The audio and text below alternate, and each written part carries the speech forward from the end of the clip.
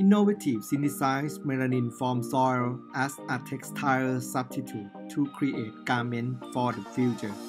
This study investigates the use of soil to create a textile substitute material in Thailand. It aims to maximize the value of natural resources in response to climate change.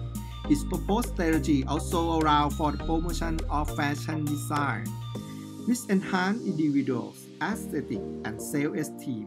This study is based on the concept of harmonious living with nature. Biofiber was synthesized from Streptomyces, a good bacteria found in soil.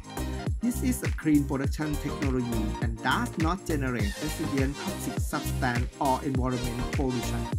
The result is a substitute material which is friendly to the human body and is biodegradable.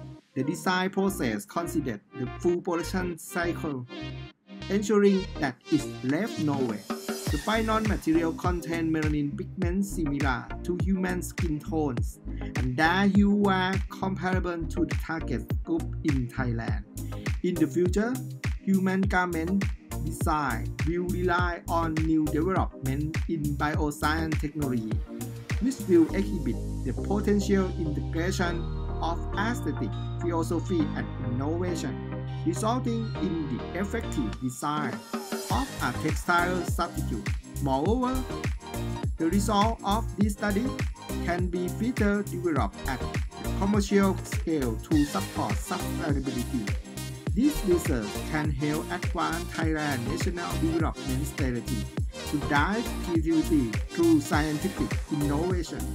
The success of garment has made an impact to the economy at microeconomic level the community enterprise drives the country economy and the profit is balanced happiness.